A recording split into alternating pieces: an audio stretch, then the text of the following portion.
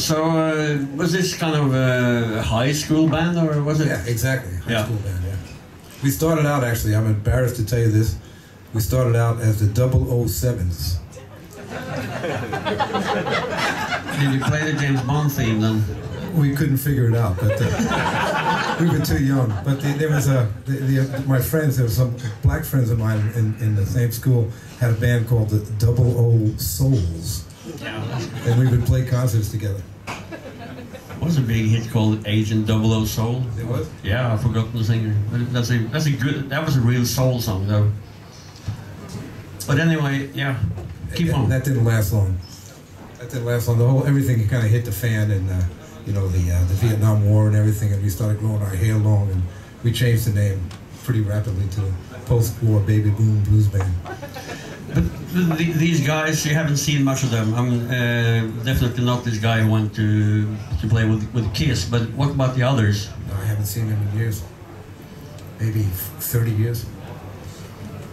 So next step for your musical education, your musical career, what will that be then?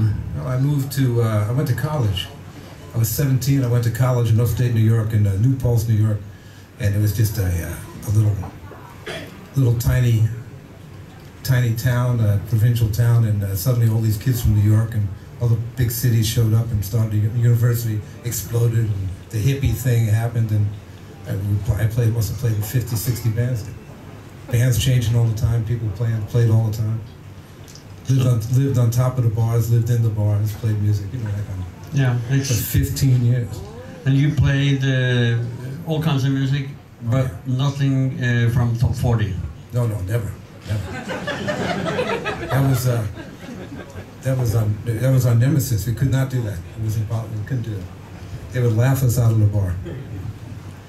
If you look back on that time, uh, is it just uh, a whole lot of uh, hippie life or a lot of confusion? Or would you say, can you see, see from afar that there was some uh, pattern in your development uh, musically? I probably could have learned faster, but I definitely was learning all the time. But I, I took my time about it.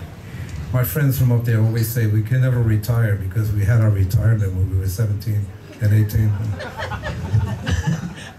we already had it. Had sorry.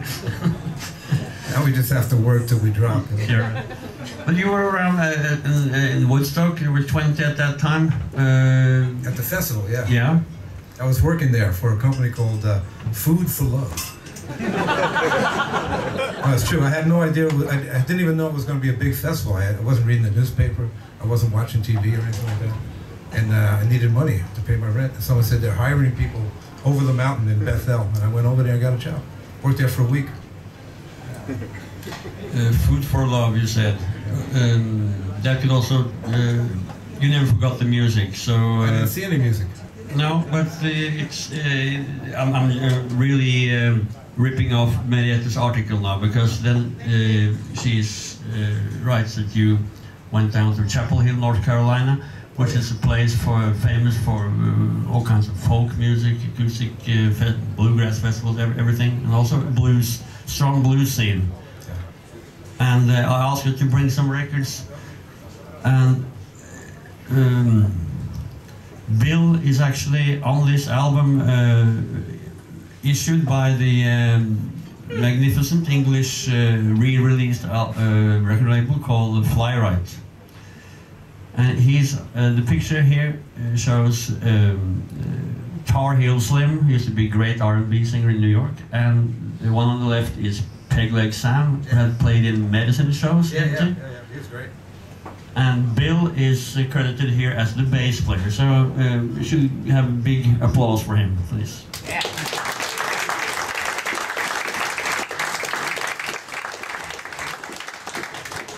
I mean, this must. Uh, how how come you ended up in Chapel Hill for this uh, event?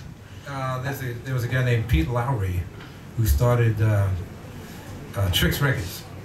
And we were going to play with Eddie Kirkland, who's on here too, in uh, 1971.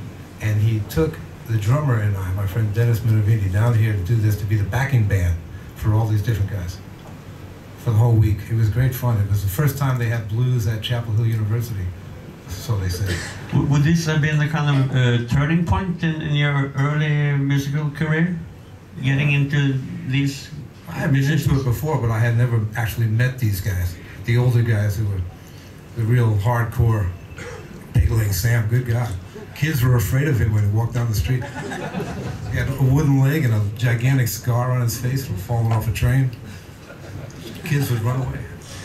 They were living the blues. I guess so. Was this uh, oh yeah, you No, please. we, we went around to, the, to people's houses and uh, and uh, had drinks and uh, it was just uh, quite an experience. It was. You're right. It was a turning point.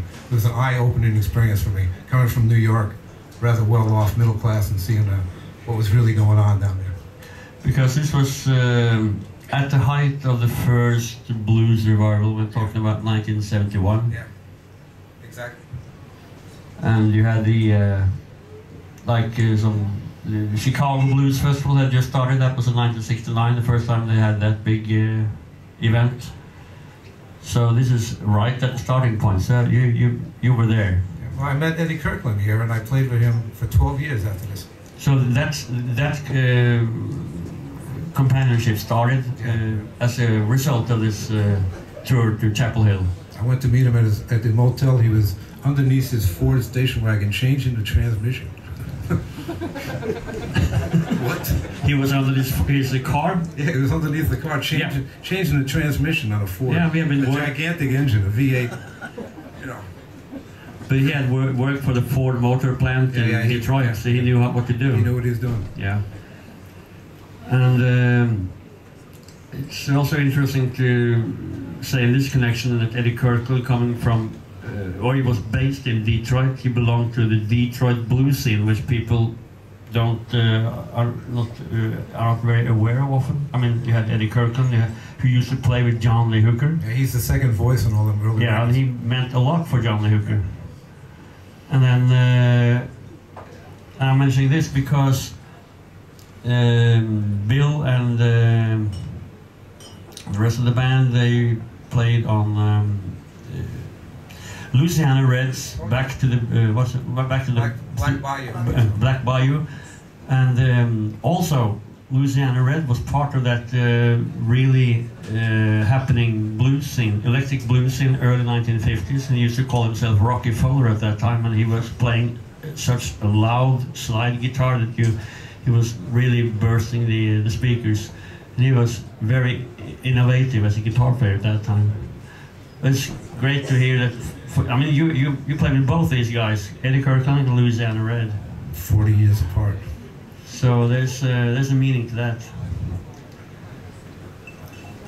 and uh, I'm really happy to to know that the uh, Back to the Black Bayou is um, nominated for a uh, blues award this year in Memphis, and it probably stands a good chance of getting a, an award. Well, we'll see what happens.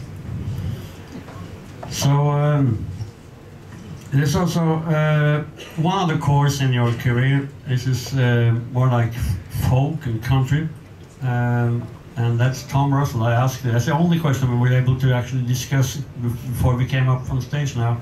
But you have been in contact, and I'm, and I have been knowing uh, Bill for many years. Uh, actually, the first time I met you was when Tom Russell was recording an album in Oslo called The Road to Bayamon Oh, yeah. and I met you uh, uh, uh, beside the Munch Museum because we're taking pictures. Raymond Mosken was taking pictures At the circus. At the circus.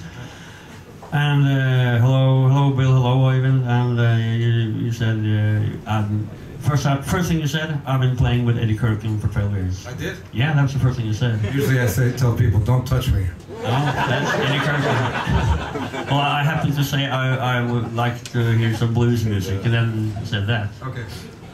So there was some connection there.